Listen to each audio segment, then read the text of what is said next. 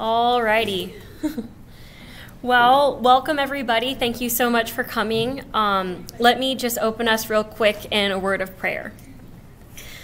Lord, we praise you so much for this day. We praise you for the lovely weather outside. We praise you for the frost on the ground this morning. We praise you for the warm, sunny breeze. Um, on our backs this afternoon. Um, and we praise you for this opportunity we get to hear Emily come speak to us today.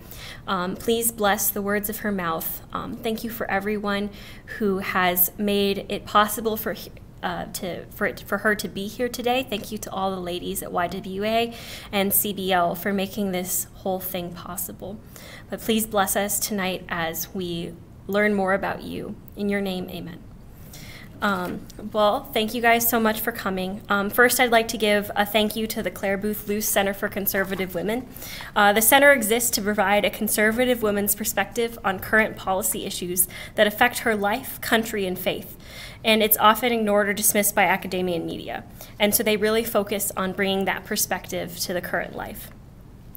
I interned at the center this past summer, and I highly recommend it for all of you ladies. Uh, they provide a wide variety of professional development opportunities, uh, from etiquette seminars to firearm training to planning a lecture on campus. Uh, I'd also like to thank our chapter, YWA chapter president, Sarah Murley, and all of the ladies to help put this event together. Thank you for all your work and dedication. Um, this lecture would not be happening today without you. Thank you. They helped get extra credit, snacks, promote the event, um, and we couldn't be here without them. Uh, thank you to CBL for making this possible too and helping get uh, Emily out here. Um, if you're interested in the YWA, they meet every other Tuesday at 6 p.m. and they focus on advocacy, action, and prayer. Without further ado, I'm ado, I'm going to introduce our speaker. Emily Jashinsky is a culture editor, editor at The Federalist and host of Federalist Radio Hour. She previously covered politics as a commentary writer for the Washington Examiner. Prior to joining the Examiner, she was the spokeswoman for Young America's Foundation. She interviewed leading politicians and entertainers and appeared regularly as a guest on major television news programs, including Fox News Sunday, Media Buzz, and the McLaughlin Group. Her work has been featured in the Wall Street Journal, the New York Post, Real Clear Politics, and more. She serves as director of the National Journalism Center, co host of the weekly news show Counterpoints Friday, and a visiting fellow at Independent Women's Forum. Originally from Wisconsin, she's a graduate of George Washington University. Please join me in welcoming Emily Jashinsky.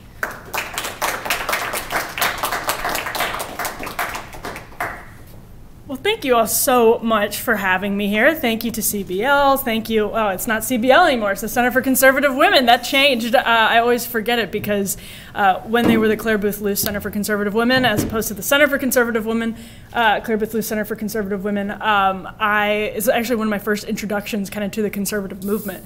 Uh, so I'm very, very grateful to the Center for Conservative Women for everything that they do, to YWA, to Patrick Henry. What a wonderful campus that you have. Uh, also, thank you so much for praying to bless the words from my mouth because uh, I needed that. I have a tendency sometimes to stray when I get angry. And I think uh, some of the things we're going to talk about might make me angry. So you'll all have to keep me in check. But I think the, the blessing will help so very much. Um, let me start actually just by a story of why I was late, because it's interesting um, and somewhat relevant to what we're going to talk about. Uh, so I was coming from Reston, uh, where YAF has its headquarters, and uh, they've recently put up Google and Tesla, uh, all in, in Reston, Virginia, which sort of used to be, if you talk to people, uh, you know, it was, it was, an exurb, basically, not such a suburb of DC. And that's kind of what these areas are now. It was sort of more like where we are now in Reston. But of course, now there's shiny skyscrapers with Google and Tesla and Microsoft. Uh, and as I was coming here, GPS said it would take about a half hour It took more like 50. And what's interesting is that you start seeing all of these luxury cars get off the highway and start going towards Loudoun County. Start coming out towards Leesburg, to Purcellville, towards all of these areas. And it made me think of a documentary that we did at the Federalist a couple of years ago, I think two years ago. And it made me think of it even more because we filmed it on a night exactly like tonight, um, right out here in a barn that is used as a wedding venue. You've probably all been there, actually. Um, but parents were meeting in the basement of this old barn that is now used as a wedding venue because it's so gorgeous out here to plot a comeback for Loudoun County uh, because they had discovered in 2020 exactly what was going on in the public schools out here. And to so many of them who had grown up in this area, it was utterly shocking looking at what was in the curriculum. So there's all kinds of wild things that have happened at the Fairfax County Public Schools, that have happened at the Loudoun County Public Schools, um, when it comes to you know how they're using or how they're handling Title IX regulations, et cetera.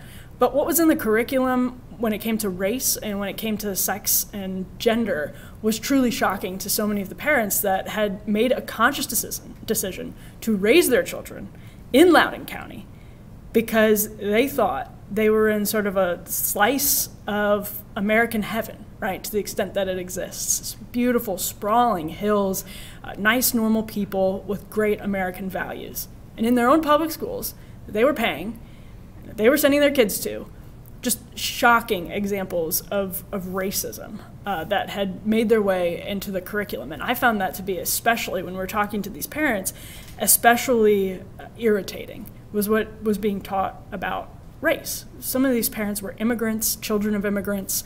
Um, they're, you know, in your community, they're your neighbors, you know them. You know exactly the kinds of people that I'm talking about. And in fact, you can even watch the documentary on YouTube and see these parents for yourself. It's amazing.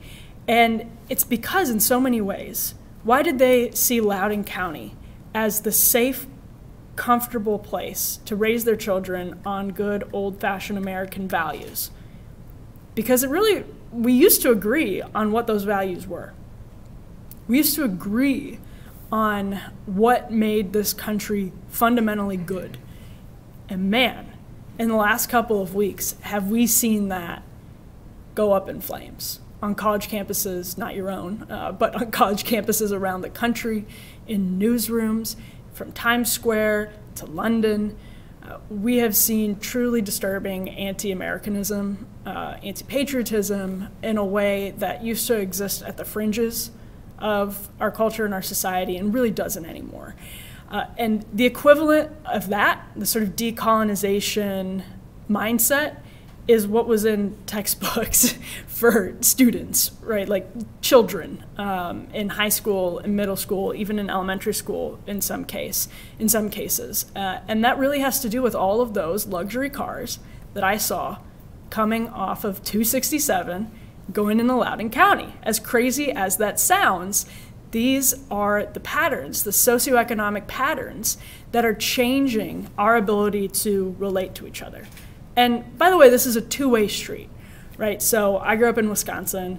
Uh, you know, if you, you go up to a bar in Wisconsin and you start a conversation about CNN, you're probably going to be on the same. I'm probably going to be on the same page. We'd probably mostly be on the same page with whoever starts chiming in about CNN at a bar in Wisconsin, uh, for the most part. Um, it's a two-way street, though, from the people at CNN that will talk about Wisconsin all day and have no idea what they're actually talking about, from the people of Wisconsin who'll talk all day about the big cities and, and probably not know what they're talking about. There's a difference, though, and that is CNN exercises disproportionate control over the country, and they have no idea what they're talking about. And they're also saying that they know exactly what they're talking about. Um, but those those luxury cars, just to sort of complete the circle on that point, because it's an important one increasingly, our socioeconomic differences are cultural differences. There's a great book called Coming Apart by Charles Murray that at the National Journalism Center we make required, required reading in our curriculum. Should be required reading for any journalist. Um, I think it should be required reading for everyone, frankly, because it's the best book about the media that has nothing to do with the media. It's about elite sorting patterns. So if you graduated from college, um, you're more likely to do X, Y thing, X, Y, and Z things. So if you graduated from college, you're more likely to make X amount of money.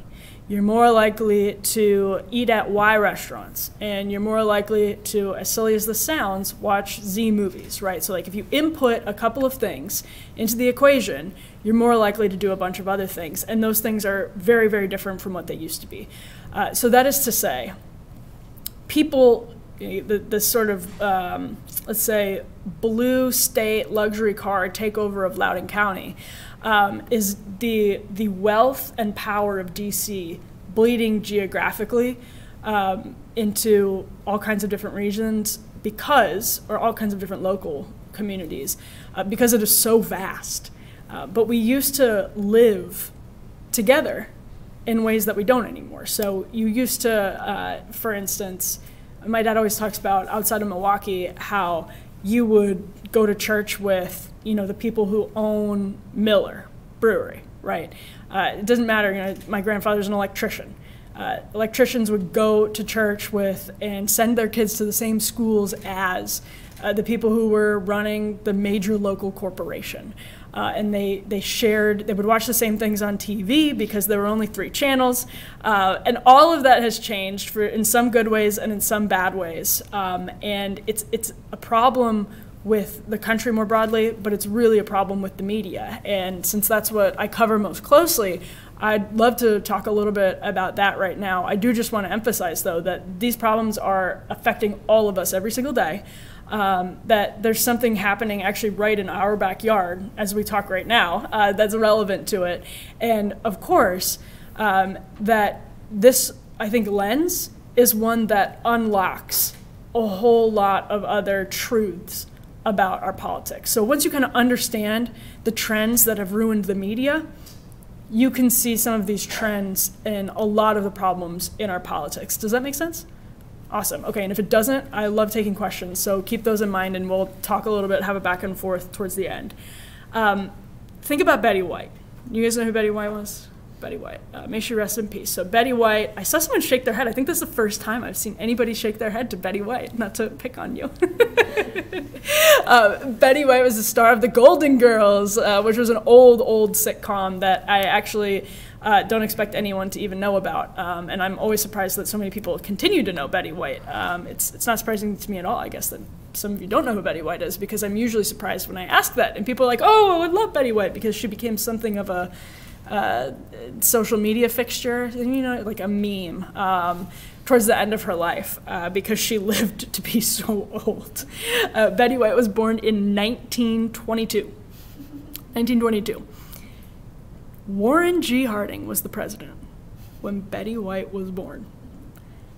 Betty White, television star, died in 2021. The world looked pretty much like it looks right now when a woman who was born in the administration of Warren G. Harding died. That is bizarre. It is historically bizarre. It's actually civil, civilizationally and I made up that adverb just for you. Bizarre. That's really strange. That has never happened in the scope of human history that life has changed that quickly in such a short period of time. And I'm not specifically just saying from 1922 to 2021, um, but in general, this is something that's happening. It's, it's called hypernovelty. Bret Weinstein and Heather Heying wrote a really great book about it. It's called The Hunter Gatherer's Guide to the 21st Century. Uh, they are evolutionary bio biologists, and they call this hypernovelty when the rate of change outpaces our ability to adapt. Uh, so, for instance, a lot of people will look back on the wristwatch or the printing press and say, calm down, technology is uh, not destroying humans. We used to be addicted to looking at our wristwatches, and the printing press was very disruptive. Um, and as a Lutheran, that's not a persuasive argument to me. But this is maybe the only place I'll get laughs on that line. Uh, but it's it, what's happening right now is on a different level. Um, and you know, I'm I know some of you are here for extra credits in, in, in your physics class frankly, I can't get too scientific about this uh, because I've never taken a physics class. but you can now tell your physics professor that uh, we injected some science into the conversation uh, because I mentioned evolutionary biology. Um, so, but think about that. I mean, so Warren G. Harding is born in the last year of the Civil War. A woman who was born during his presidential administration just died, like a famous celebrity. Like she just passed away. What has happened between point A and point B is nuts. And the reason I like to talk about Betty White is because she was, according to PBS, the very first woman to ever appear on a brand new technology called television. Before TV debuted at the World's Fair in 1939, shortly after Betty White turned 17, she was on an experimental RCA broadcast. TV was not even commercially available when she got into that game. It was an experiment. This woman's life ran the gamut from an experiment on TV being one of the biggest TV stars ever and dying in the age of TikTok when TV is barely even a thing anymore. It's like YouTube and TikTok. So think about that. Everything's kind of black and white then. Think about like 2106. That's 83 years from now. So Betty White died 83 years from an experimental television broadcast. What will the world that your children and your grandchildren inherit look like? You know, let's say you're 99, 83 years from now, something like that. Um, it's pretty daunting to try to imagine what the world is going to look like. And when we think about news, it's kind of important to focus on the most fundamental, the most basic elements of what journalism is. Even when I grew up, the news wasn't on the internet yet. Um, it was you, know, you, still had to tune into the nightly news, read a newspaper, subscribe to a periodical like National Review, um, and then as I got a little older, you could log on to the internet. You still had to dial it up, which you guys probably don't remember. Um, so you know you, you can Google it. Uh, it'll take you a lot quicker than it would have in 2000 um, to figure out what that actually looked like. But basically, there was a dial tone. You had to wait a couple of minutes to connect to the internet, um, and so there wasn't any like social media. There were forums where people would talk about the news, uh, but there wasn't social media where it was a constant feed of other people's thoughts in that gamified way, right? Uh, there wasn't rewards uh, for your take on the news, rewards or punishments for your take on the news, and that wasn't the incentive for people to do the news. So, for instance, now the way journalists communicate the news, all of those reporters in Capitol Hill, uh, they are breaking the news to you on a platform that has gamified their reporting, right? So they know if they talk about it in a very particular way, uh, if they tweet it with a picture, the algorithm's going to prize that over just tweeting a sentence with no picture. If they tweet it with all caps or if they tweet it with whatever, they know that's going to do better. Exit, whatever. Um, that's much more difficult to say. Um, that's what the last 10 years? I mean, barely the last decade uh, but it's fundamentally changing the way that you as consumers learn about the world.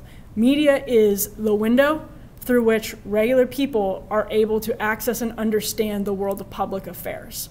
Uh, so that includes business, government, all of those things. That's the window. And if the window is smudged and cracked, it's a problem because the founders, as you all well know, um, made the freedom of the press essential. They know that you can't have what we call a constitutional republic without a free press. And technology uh, doesn't necessarily mean that that window is going to be smudged and cracked, uh, but it has created new challenges and we haven't caught up to them. Does that make sense? So we are still behind. The technology has changed so quickly that we haven't found a way to make sure the free press, that window, is still functioning in the way that it absolutely must for the entire system to work. It's a fragile ecosystem, right? Like you guys are learning this right now. The system of a constitutional republic is fragile. When one thing is off, uh, it, it, throws the entire system into uh, chaos, right? You have to have everything working right and in the, the, the, way that it was intended in order for everything to exist smoothly. It doesn't mean these challenges aren't always going to be with it, uh, with us, but it does mean that right now media is one of our, our biggest biggest challenges. So we can talk about what is news and what isn't. Basically, journalism is the practice of either conveying or analyzing facts in the public's interest. You can do it by writing or speaking, you can do it with pictures, you can do it with video, but because journalism deals first and foremost in facts, journalists must first accept oh, and this is so hard that facts exist. That facts exist. News is about new information. So that's why journalists are tasked with gathering that new information and then conveying that new information. So it's one thing to be there when something happens or to get information about what happened. It's another thing to write or speak about it accurately. Both are important, but both are different. So if I saw a a red truck outside this building, I could say there is a red truck outside of Founders Hall.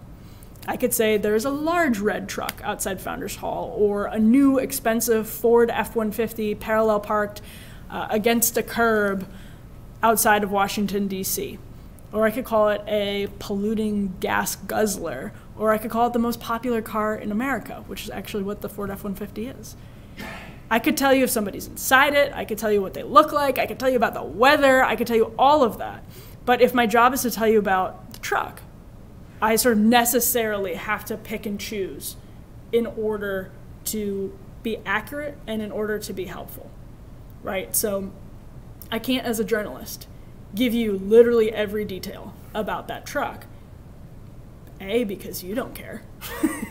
uh, and, and B, like I could go through what rims it has. I could go through if the lights are working. I could go through all of these different things, all the different scrapes and cuts and the bumper if I'm thinking about my own truck. Um, but the bottom line is you are not interested in everything. You're interested in a very particular set of facts, and that is the news and the new information. So you're necessarily picking and choosing as a journalist.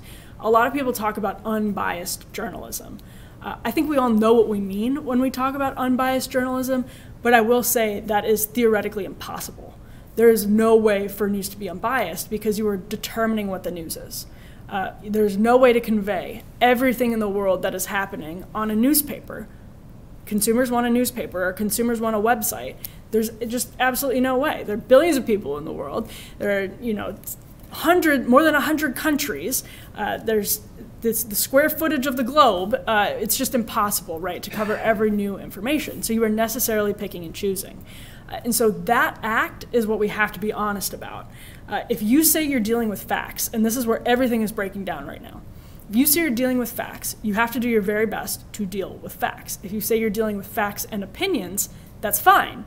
You still have to do your best, but you're being honest. And if you're being dishonest, we have a big problem. So the Washington Post, the New York Times have recently restyled themselves or re-emphasized their goal as being what what did CNN do? They ran that ad. Do you, have you guys seen the apple and banana ad? If you haven't, look it up. CNN in the middle of the Trump administration ran an ad where they just showed an apple on the screen. They had a voice that said, "This is an apple." Some people may try to tell you it's a banana, but it's an apple what is the implication there? That they are the guardians of truth and facts. Uh, and that everybody else is out there trying to muddy the waters and cloud it with opinion and alternative facts. But CNN is just telling you that apples are apples.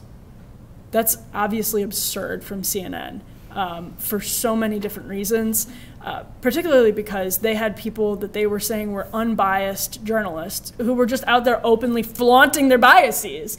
Um, but now, they don't see those things as biases.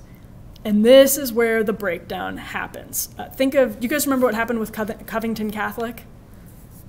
Yeah, okay, so you'll, as I describe this image, it'll probably pop back into your head. Uh, young white kid with a MAGA hat on the National Mall and a Native American activist coming at him. So when images started to go viral of this, uh, this was 2018, I think it may have been early 2017, somewhere around there. Uh, and CNN, by the way, lost a lawsuit about its coverage of this to the tune of like they had to settle for millions of dollars, presumably. I think it was like seven million dollars. Uh, I don't know if it's actually been confirmed, but millions of dollars. So this young kid is on a class trip and they're at the National Mall after the March for Life. And a Native American activist starts getting in his face. It goes viral. He's sitting there with a grin on his face. Um, and someone just posted the most misleading snippet of it on Twitter. From there, journalists who spend literally all of their time on Twitter instead of like talking to people um, are retweeting that this kid was like smugly mocking indigenous activists, this like young pro-life Catholic kid, et cetera, et cetera. Um, that was not the full story at all. But they had relied on a snippet of video that they saw to tell their audience that this apple was a banana because they didn't do their work. They are almost all based in Washington, D.C. They are all on Twitter all of the time. They had all of the tools in their world at the in the world at their disposal to confirm this story was accurate. But they ran with this apple as a banana right away. Um, the Washington Post did it. All kinds of news outlets did that. Why? because it confirmed, did what we call confirming your priors, right? It felt right to them that this young white boy would smugly be mocking this Native American activist. And of course, what actually happened is that the activist was getting up in this kid's face and uh, taunting him, provoking him, basically. And so that grin that so much of the media saw as smug uh, was actually really restrained and polite. you have someone getting in your face and you're smiling. You're smiling it off. You're not doing anything wrong. You're not shouting, getting angry. You're just smiling and nodding. So it's one of those classic uh, pictures where like you can't tell if it's a lamp or an old woman. You know what I mean? Right? Like it just depends on the perspective that you bring to it. It's exactly that. Um, it's like an optical illusion, right? Uh, and at the end of the day, that artist painted the optical illusion to be an optical illusion. So it's neither a lamp or an older woman. It's, it's both, right? Like you don't have to pick or choose. Uh, that's the sort of reality of it. But when you look at it, you'll see it in one of two different ways depending on the perspective that you are bringing to it. And that's definitely what happens with news. The problem is, so many people are insisting that they are seeing apples when what they are actually publishing is just banana, right? Like I actually love this metaphor that CNN gave us because it's really perfect. Uh, and you can't, it's fine. For instance, like what I do is opinion journalism. I, I never, ever make my audience think that I'm anything other than a conservative, right? That would be really dishonest because I know a handful of people in journalism that can do the news and do it straight. Um, the vast majority of people I know in journalism cannot. The vast majority of people I know in journalism that are working at mainstream media outlets that I've met are politically engaged, interested people that necessarily have opinions on things like abortion. Uh, and those opinions are almost all to the left, right? Um, and that's fine. You're allowed to have the wrong opinion on abortion. You're allowed to have uh, an opinion on abortion. What you can't do is say that you are just being a neutral broker of facts when there's no way that you can do that right? Again like there's some people who constitutionally uh, are just so neutral. They're not even interested. A lot of the reporters that i meet that do this really well are not even interested in politics. They're interested in reporting because they like to talk to people and they like to write and they just kind of found themselves in political reporting. Uh, but people who are in reporting because they love politics which is a lot of people they can't report well. Uh, they, they just can't report well from a neutral perspective. They can report fabulously well from an opinion perspective. For instance, it brings you all kinds of benefits. So if you're a conservative journalist, people in the Freedom Caucus are happy to talk to you.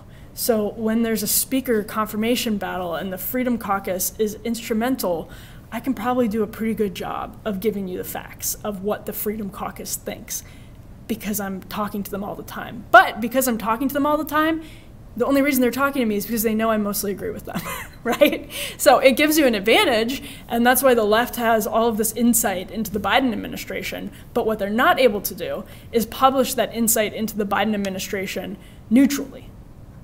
And it's a catch 22, right? It's why they have it at the same time. Does that make sense?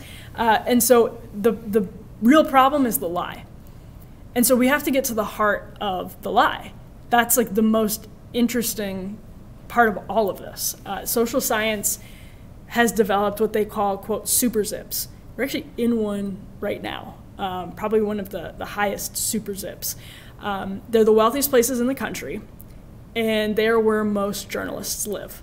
And again, uh, to the point where I was talking about how this lens sort of unlocks a lot of truths about our politics in general. Um, once you realize that, you realize we make a whole lot of decisions because of super zips. Uh, we make a whole lot of decisions in one way, or the way Hollywood depicts this country is one way. Uh, a lot of that comes down to super zips. Uh, now, people who live in these areas, and let's focus back on journalists, they generally went to the same schools, they generally make the same amount of money, live in the same regions, they generally have the same approach to religion, watch the same movies, go to the same stores.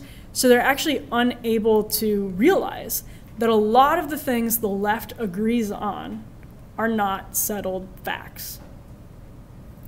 That's coming as close to the heart of this problem as you can possibly get. Now, if we wanted to keep digging deeper, as you guys do here, um, we could talk about, and I alluded to it earlier, the fact that we don't even agree on facts anymore, right? That we don't even agree that truth is not relative. That has become so mainstream for people, whether they know it or not. I think a lot of people, um, I'm, I'm not that much older than you, I think a lot of people our age, um, born in the 90s, early 2000s, were born into an America which moral relativism was the water that we were swimming in. Uh, and so it has just colored the way so many people our age think about the world, and they might even not know it, right? Like they don't know, they, they wouldn't walk into you know the grocery store and say i'm a moral relativist first of all they wouldn't do that because why would somebody say that in a grocery store but uh, secondly it was just an example that came to me and probably wasn't the best but uh, they wouldn't walk in, up to you in a conversation about politics at a barbecue and identify themselves as a proud moral relativist uh, but they may for instance say that gender is fluid right? They may have some of these ideas and they may actually claim there's science to back them up. Or if they are a real dyed in the wool moral relativist, they will tell you that science doesn't matter. That your sort of internal, your truth, your internal sense of reality, your perception of reality is the same thing as reality. And that's wrong. Um, there is truth, it is objective. We don't even need to debate that. Uh, but that's really what's at the heart of this. Um, now, we'll just as as that is the like the real deep question. We could have a million different questions. Uh, I would, uh, I mean, we can talk about this during questions, but we could uh, raise a bunch of different questions about how I think technology has brought us to that place. Um, about where questioning reality and relativistic truth uh, is something that you know Marx and Nietzsche are focused intently on because of technology. Um, we can have that conversation. That is like the deepest possible layer here. Uh, but to keep it right at this level of like what really, uh, where we see most journalists depart from the job that they say they're doing, it's because they are living in super zips. And that means uh, that they mostly, I was just talking to a guy, he works for the Associated Press. He was overseas um, in the Middle East it was he was a bureau chief somewhere in the Middle East until a couple of years ago. He moved back to cover American politics for the Associated Press, like smack in the middle of the Trump administration. But he'd been overseas for a really long time. And he sort of looked around and was like, what's going on here?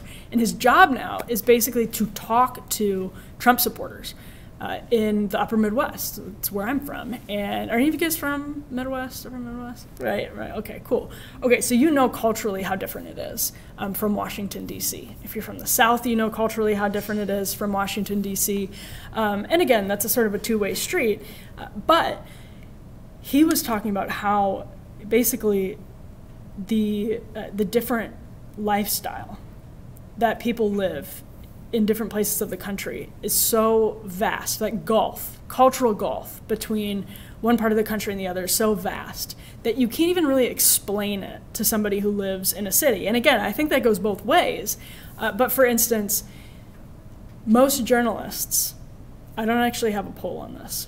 Uh, I just, this is anecdotally, I've been doing this in Washington, D.C. for a while, and I know a lot of people who do it in New York, and I know people who do it in L.A. I would guess most journalists don't have a car. Does that change the way they cover the economy?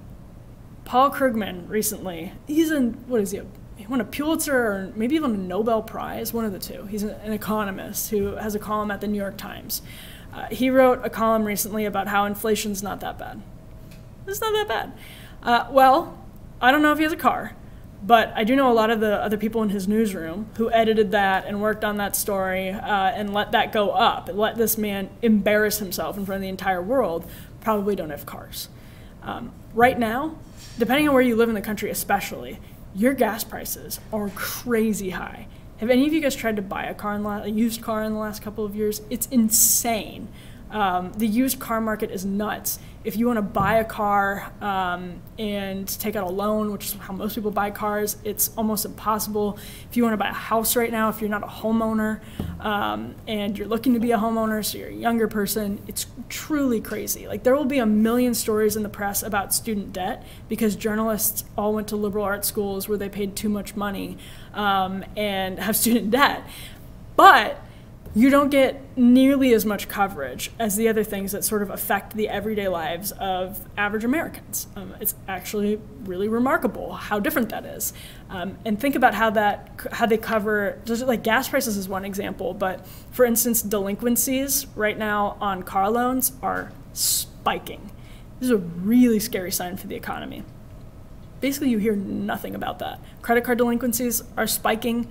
Um, we're hearing very little about that in the media right now because most journalists are uh, above average in the income bracket.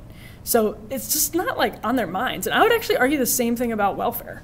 Um, it, it's true that like my mom wouldn't let me go into journalism because she was like, yeah, it's I went to GW, so she was like, "You're not gonna make enough money. Like, I, am not paying for you to go to GW if you're gonna go be a journalist." Um, but that's kind of a misconception, right? Like, you don't make a lot of money the first couple of years in journalism, but compared to people who don't go to college, compared to your peers, you're doing pretty well in journalism. You're you're living in a major city. Um, some of these shops are unionized. I said shop referring to a newsroom because that's how they refer to them, but wow. Um, it's not a shop. Uh, although it used to be a much more blue collar profession, we can talk about that too. Um, but you know, they're they're doing okay um, compared to people who you know they may have credit, they may have student loan debt. They probably don't have crazy credit card debt. They probably don't have uh, you know to worry about cars. They're not worried about gas because they're not worried about cars. They're not worried about insurance because they're not worried about cars. Um, they don't go to church. They don't own guns. Uh, these are really like gun coverage is horrible. Uh, why is that? It's not just because journalists hate guns. What's deeper than that? They don't know anything about guns. They've never lived in an area uh, where, you know, if you call 911 because someone's breaking into your home, the cops are going to take 20 minutes. Some of you probably know that because you grew up in rural areas. Uh, they don't know what that's like. They have a police station a couple blocks down. Um, it's inconceivable to people who live in cities or grow up in suburbs that you actually might need to take matters into your own hands uh, or you hunt or anything like that. Um, that is as good an example of any of where these sort of cultural touchstones are more and more different uh, depending on your income level, depending on uh, your education level. Uh, and so think about this. Uh, a great example is the COVID lab leak, right? Why on earth?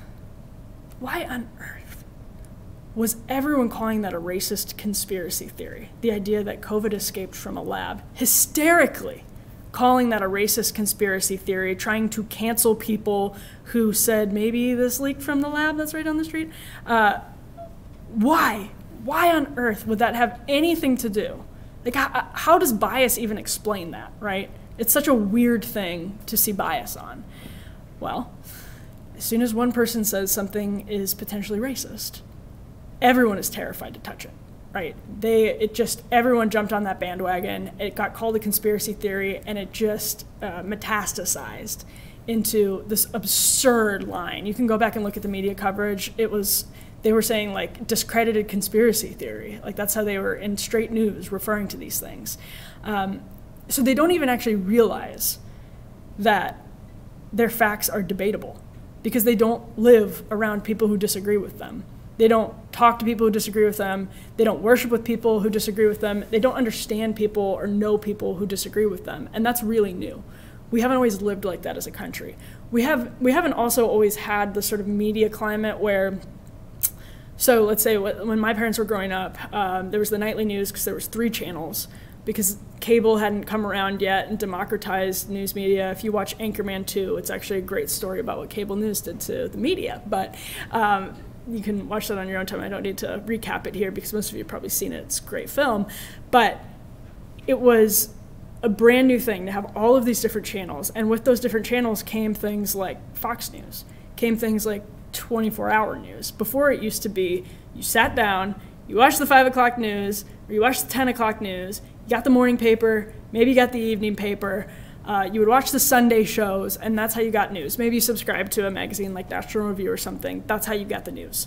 Um, the cable comes along, you can get partisan news, blah, blah, blah. That's actually a return to what the country was like in its earliest days. And some of you probably know that. We've always had a pretty partisan press in this country. You had the Federalists and you had the Whigs, and they were like doing news in a very partisan and somewhat mean spirited way, right? Um, and that was the norm until really until technology made it possible for news to travel really quickly, and then the way it was supported was by advertisers. We're actually going back to more of a subscriber consumer model, um, but when, especially in the 20th century, radio comes along, when newspapers come along um, in the format that they were for a while, it was supported by getting as many people as possible to want to tune into your broadcast, right? So, what gets CBS to get ABC viewers and NBC viewers? You have to appeal to the most number of people possible because you want the most number of people possible to buy ads on your channel right? You need to support your show with commercials. And commercials are more and more valuable, or ads in the paper are more and more valuable the more eyeballs are looking at them. So at the time, it was just it, the way that media was at the time was just to appeal to as many people as possible. That's changed now because of technology. It's sort of gone back to the way it was, and that the way to get most people to subscribe. Um, let's think about one example. Do any of you know who Johnny Carson is? even before my time. But yeah, so Johnny Carson hosted like the most popular late night show. It's the one that Jimmy Fallon hosts now. Um, for years and years and years, and he was he didn't avoid politics at all. He just wasn't partisan. Um, now, the most popular late night host during the Trump administration was the most partisan man in media. Does anyone know who it was?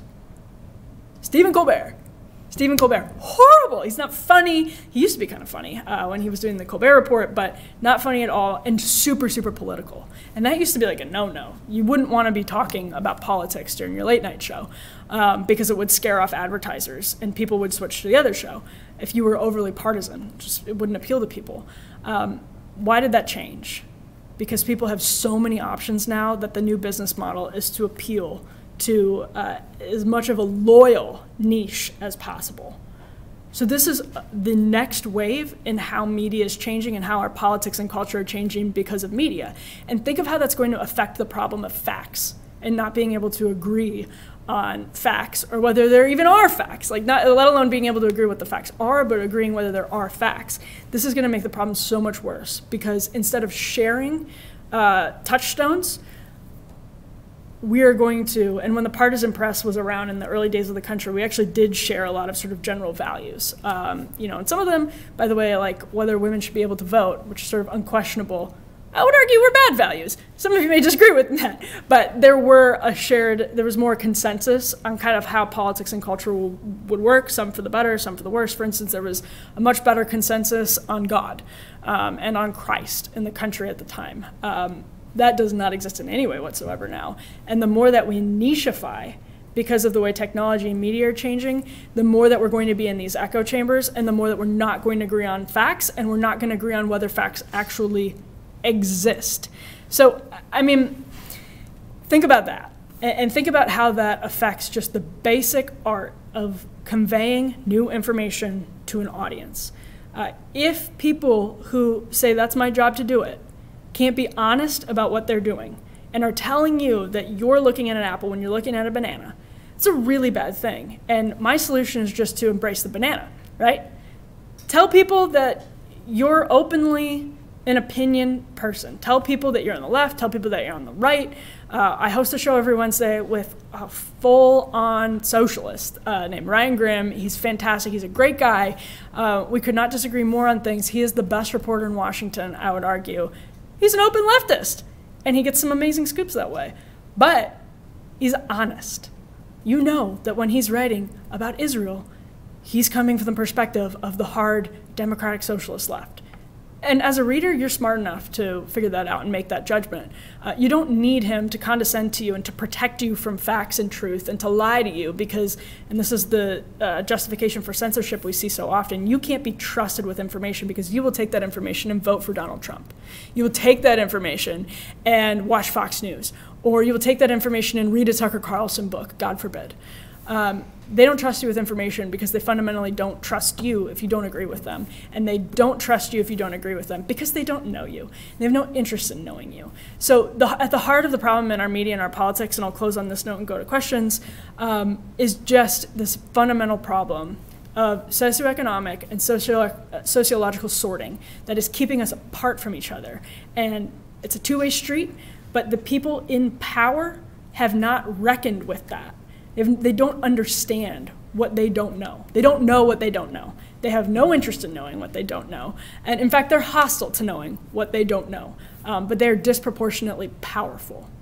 So, on that, I'll take questions happily. I hope that was helpful. And thank you so much again for having me out here.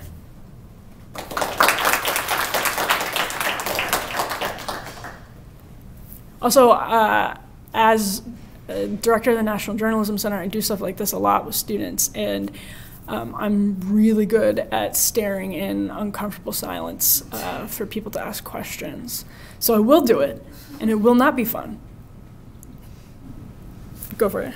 So um, I think just kind of have your talk here definitely really, like we know that this stuff, we've had ideas of what things are going on, but then really, really explain it in this way, it's kind of it's definitely disheartening, especially when you know you're on social media all the time. It's hard to know what to trust. What do you see as a way going forward that even we as young people now can like we recognize this as a problem? Mm-hmm. What are some steps that we can take, um, even just in our practical life? You know, when it seems like what do we trust? You know. Totally. No, that's a great question. Uh, I think one of the solutions to this is people in general, and sadly, because you shouldn't have to, but people in general are going to have to get very media literate. Um, you know, all of us, friends and family, uh, there should be a way to teach it somehow in schools or like just easy ways for people to think about it. But um, and I think what that means is that we're all going to have to read more sources and know more about those sources.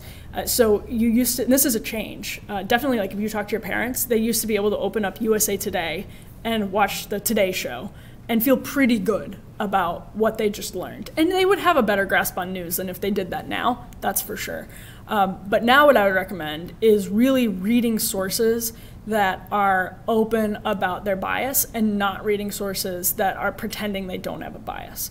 So, for instance, and that's really difficult, especially with foreign news, because partisan outlets, so like the Federalist, we don't have any money to send people to Israel, right? Like we don't have anybody in the ground on the ground in Israel. So what we can do is try to synthesize what we're seeing from Reuters and Al Jazeera and the Associated Press as best we can from the perspective of a generally pro-Israel publication. Um, so it's harder with foreign affairs, but especially in domestic affairs, like I I read tons of stuff on the uh, like honest, outright left um, because they a generally have the best versions of their own arguments um, which I think are bad arguments, but it's the best version of that argument. So then you can weigh it against the conservatives. And when you're reading conservative partisan press, it's great because theoretically that's the best version of the conservative argument. So if you're reading coverage of, uh, for instance, what happened on October 7th in Israel, you're reading it from the left, you're reading it from the right, you can then decide what you want to plug into Wikipedia and get to the bottom of, right? Like you can figure out, like, oh, what happened in the Yom Kippur War? Um, I've read it about it on the left, I've read about what the right said about it um, you know, you're just gonna, we, we, all just have to put in more effort. And I think that sucks. I don't think that should be uh, the way that it actually is.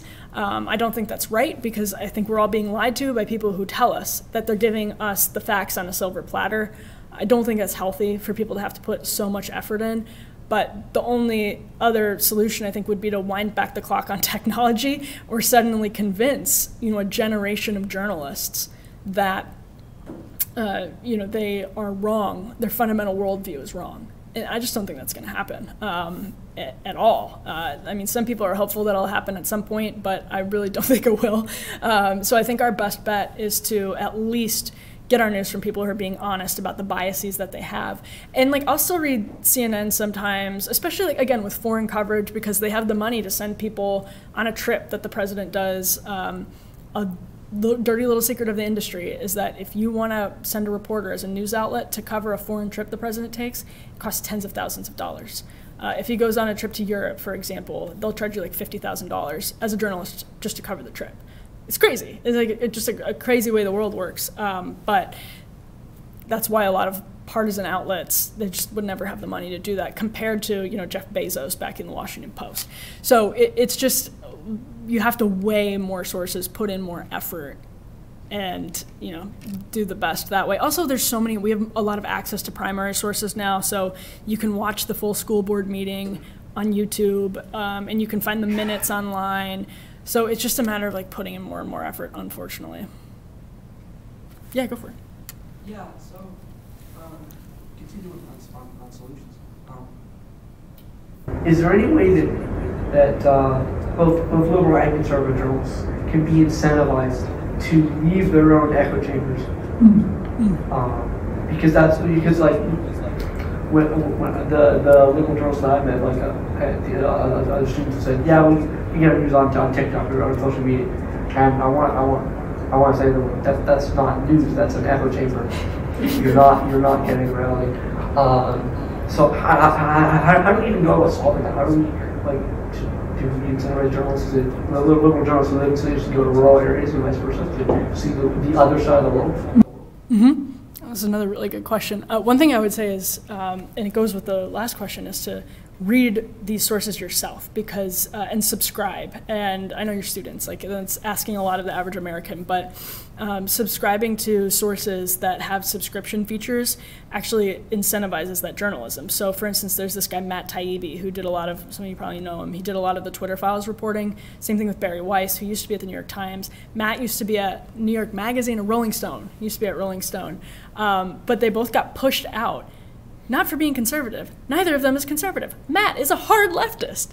Uh, they got pushed out by the left at their publication because they questioned the left on a couple of things, basically. And they knew that in this new tech atmosphere, there's good, there's good and bad with it, that they would be able to get enough subscribers to make a living. Um, I know one person who got pushed out of New York Magazine. When they started a Substack, within like a day, they had enough subscribers within a day to make $750,000 a year just on their Substack which is a crazy amount of money. That's I guarantee you is more than that person was making at New York Magazine. Uh, so I would say a like we're all part of that incentive system. So make sure like to subscribe and read if you can't afford like read those publications, follow them on social media. That's super super helpful. Um, and on the other hand, I mean. I think it would be great for like a local news resurgence. A lot of this has happened because people, especially journalists, are more disconnected um, now because they never had to go through the pipeline. A lot of people go straight to national and they don't do their stint at the Cincinnati Enquirer covering the opioid crisis. They just jump straight to CNN. Um, and that's because there aren't a lot of local news jobs. Uh, most of the news jobs have been nationalized. So I think I hope that there's an infusion of capital into local news. I know some people are toying with it. They're toying with it in partisan ways, they're toying with it in nonpartisan ways. But I do think like having that stepping stone would be really helpful for journalists, whether they're liberal or conservative or neutral. Um, in some outlets like the Associated Press have sent people, like the guy I was talking about recently, uh, to Minneapolis and to other parts of the country. That I don't know if it works really well. It's worked really well for him. Um, for everyone, I think if you're you're coming into this um, have you seen Vengeance with BJ Novak from The Office? It works for him, right? When he goes and does a podcast in West Texas and he kind of changed his mind. Uh, I've just, you know, I've lived in DC for 12 years now. I've seen a lot of hardened hearts um, who really think conservatives are necessarily, if you voted for Trump, you are necessarily a racist. That's something somebody said on CNN. Um, if you, you know, uh, own guns, you are complicit in every school shooting. I think there are a lot of people that it would actually just like exacerbate their biases because they're so hardened to that right now. Um, so I don't know about that solution, but I hope that before these people get so hardened, maybe they can go to local places first. Yeah. Uh, so never owning a pickup truck, never owning a gun, never living in the country. Uh, I, am curious. Uh, I see from your business card your office is in Yeah. I'm curious, and you did mention you own the pickup truck, so there's a little bit of used to. But oh, you used to. Okay, yeah. so I'm, I'm curious, like used to. What's your background? Like, do you fit into that that same issue and what do you do to try to escape that bubble? yeah. you fit into that that same issue, and what do you do to try to escape that bubble? Yeah. 100%. And it's a great question. So I was in Vegas for the Society of Professional Journalism panel uh, a few weeks ago which uh, like it was as, as, crazy as you could imagine. Like when I checked in, there were like pronoun badges and everything else uh, because that's normal, right? They don't realize that's not normal in other parts of the country. Um, and I was the lone conservative, I think, at the entire conference. I actually met one other person, but in of the speakers at the entire conference, I think I was the only person from conservative media. And they had me on a panel uh, with other with liberals uh, to explain and translate conservative journalism and the conservative voter and the conservative reader. And I said to them in the middle of it, I was like, I can like mediate for you, but you shouldn't be talking to me. You should find somebody who is actually not a DC based uh, liberal arts school journalism graduate. Like I, I'm, I, I can tell you, like I grew up in Wisconsin. My family's all in Wisconsin. Um, you know, and they were talking about hunting, and I was like, my dad is hunting right now. Like I, I looked at my watch, I was like, he's literally in the woods. Um, I'm not. Like I'm here in Vegas, uh, talking to all of you about the keyboard warrior game uh, that I play every day. Uh, like you need to find people that aren't me and so again like i actually think it's it is really important and sometimes i have to like catch myself because i moved to dc in 2011 uh, i've always lived in downtown dc i've never even lived out as far as this um, and that was actually really helpful for me because i grew up in the country so i feel like i have been able to sort of get both um, but I haven't lived in Wisconsin for a really long time now. Um, and that's why, so the Federalist is called the Federalist because it's the Federalist model applied to media, right? That, uh, for instance, one thing we publish a lot of moms. Um, a lot of journalists are not mothers um, because to be a journalist, it really disincentivizes motherhood, and journalists are disproportionately not religious. Um, they don't, you know, there are all those cultural reasons. Um, and so, Federalists, our model encourages women who are not professional writers and men to uh, to write about motherhood because that is a voice. I don't care if you're on the left or the right and you're a mom. You don't have a voice in media for the most part. If you're a mom in Kansas, I don't care if you're voting Democrat or Republican. What I want is for you to have a platform. Um, and this anecdote that's really important is uh, in 20 do you guys remember roy moore the special election in alabama? Some of you do. Okay so uh, after jeff sessions was appointed by donald trump to be attorney general there was a special election in alabama and a democrat won uh, why did a democrat win? Because republicans nominated this rabble rouser named roy moore um, and this is not to debate his candidacy but he had a ton of allegations thrown at him that when he was in his 30s he had been dating and preying on teenage girls. And the entire media spent weeks, weeks asking, why is 50% of Alabama about to go out and vote for Roy Moore, despite all of these allegations against him? Why? Someone please tell us why.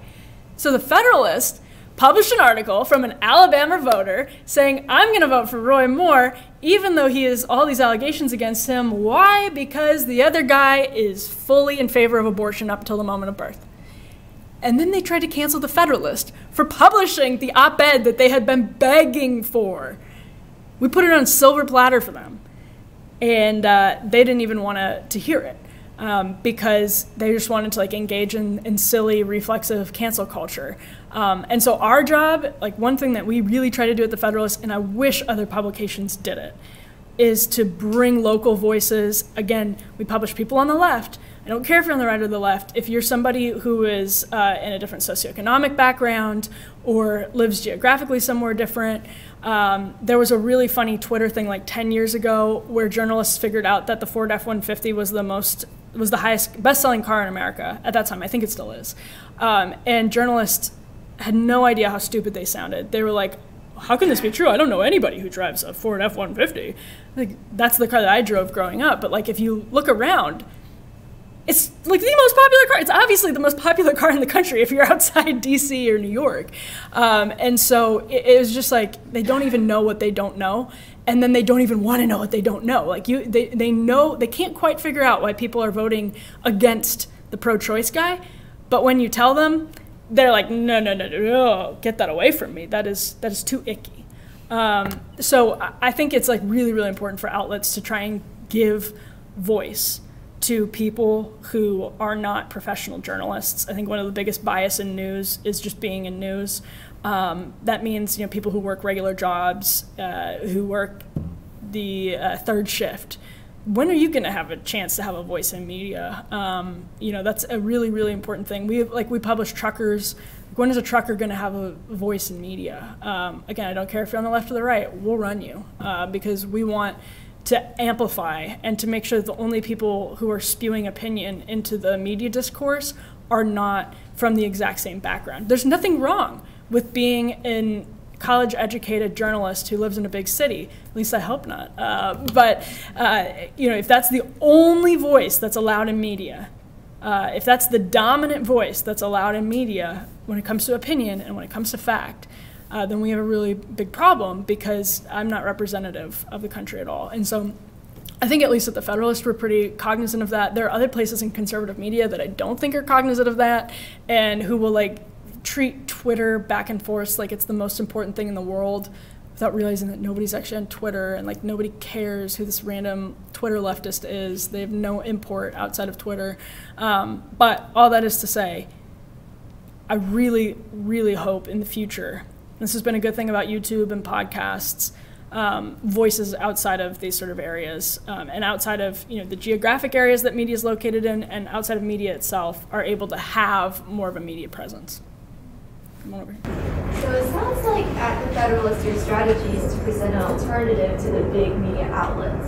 And I'm just curious, have you, what about the idea of like a conservative Christian journalist going into the media outlets and working to change them inside? Like, have you ever tried that? Have there people who've tried that? And like, how successful were they? That's a great question. Um, 10 years ago, pretty much everyone in conservatism that you talked to would have been like, that's the gold standard. That's what we're trying to do. Um, where I work now at NJC, that was the goal of NJC for a really long time. And by the way, if you're interested in journalism, I put my card over there and I put NJC uh, QR codes over there. It's a 12 week spring or summer internship. Uh, we place you at a media outlet and give you training on Fridays, and you get paid like 1500 bucks a month. It's a sweet gig. But um, everyone in the conservative movement thought that was the goal to kind of infiltrate the big corporate media outlets. And um, without like telling too many stories, everyone's basically given up on that. And I know for very many personal reasons exactly why. Um, the highest of the high people at some of these corporate, corporate media outlets uh, have taken these like lowly young conservative journalists and basically verbally tried to beat them into submission, and they quit. Um, or some of them are verbally beaten into submission. Kaitlan Collins, CNN show. I probably shouldn't even be saying this, but Kaitlan, uh, she used to work at the Daily Caller. Um, she's someone who I look at and I think has been really affected by the atmosphere of CNN. Uh, of just working at CNN. She's from Alabama. Uh, again, she used to work at the Daily Caller, um, especially back when it was just like a frat house. And she now is a very serious voice on CNN um, making millions of dollars a year. And I just, it was just one example of many. Um, and I know a lot of people who have quit. I know a lot of people who've gotten to the final stages of hiring, but have been honest about being Christians, being conservatives. Um, even though these outlets know all of their other little reporters are open leftists because they, you know, I know somebody who was in the CNN newsroom when the Dobbs decision came down and Roe was overturned. They said half the newsroom was crying. Right? These editors know the politics of their young reporters, but if anyone has different politics, they won't even let them into the group because they increasingly think that makes you anti woman. Um, and that used to be something that was just kind of on secular college campuses. And now it's like really the mainstream dominant, you know, what was happening on campuses graduated and went into the real, so called real world. Um, and now you know you're you're too icky to have in a newsroom. Um, oh, I know we're running late. I have one really good example. Mike Pence, when uh, it was revealed that Mike Pence has a rule where he doesn't eat meals with women alone who aren't his wife. That comes out. The media like has a whole Handmaid's Tale freak out and depicts Mike Pence as like one of the men in the Handmaid's Tale. It's like this crazy fundamentalist, like gross Christian guy and then someone commissioned a poll and found majority of people in America were like, no, I would never do that either. like, I'm not eating meals with people who are not my spouse. Uh, it's like meals where there's alcohol present, something like that. Um, and the media had spent like a month spinning their wheels about how unusual this was for Mike Pence. And then 60% of the country or something was like, yeah, that's crazy. Um, you know, I, am I'm, I'm with Mike Pence. Uh, so, I mean, if they find if they get a whiff of that on you, it's just it's really hard. I know like one well, I know two people who were Christian conservatives, um, and within the last five years have worked at uh, these corporate outlets, uh, and they left. Um, one mostly by choice, one mostly not because it was just so hard. This is a person who didn't even like come out and reveal themselves to be a Christian conservative, um, but who would push back on some framing, uh, and who would really, really well sourced person um, who would come with like the other side of the story and be like, well, actually, this is what Republicans are really saying. Um, most of the time, when the Hill report or when these outlets report on what uh, Hill Republicans are saying, they're just talking to like McCarthy's people. They're talking to the establishment people. They're not talking to like Freedom Caucus people um, because they don't want to talk to those guys. Um, so it's the same thing. Like they're mostly talking to Pelosi's people and Dem leadership's people. Um, they don't talk to the others, so they don't actually really even know what's going on in the Hill. Like I, the amount of times that they've, I've just watched them screw things up about meetings that are happening. That they like, I'll, I'll be like talking to the people that they're reporting on. It's like you have no idea what's happening right now. Um, and just for reporting that side of the story or pushing this giant corporate outlet to report that side of the story this person was basically pushed out of town. Um, they didn't want that person there. Um, so it's really, really hard. I think the goal is to eh, create an incentive structure where those new media outlets that are kind of open about whether they're on the left or the right, and there's a lot of them like public news with Michael Shellenberger. He's kind of in between. He's like he's sort of he's always kind of been on the left, but now he's kind of on the right. Um, but he's honest about what his opinions are and does some really good reporting. I think the best way forward is for more journalists to see that as a path, um, and that will create an incentive structure uh, where outlets like that can flourish and you can have a good career as an honest journalist, whether you're on the left or the right, whether you're Christian or Jewish uh, or non religious. Um, you can be honest about your bias and serve your audience better that way. Does that make sense? All right. Well, thank you guys so much. Seriously, please, I, am just Emily at thefederalist.com. My business card with my YAF emails is over there. If you ever need anything from me, you guys are close. Uh, would love for you guys to do NJC, but thank you so, so much for the Center for Conservative Women, to YWA, to Patrick Henry, to all of you for coming. I really appreciate it, and stay in touch if you want to. I'm more than happy to, to chat with you about media and anything going on. So thank you.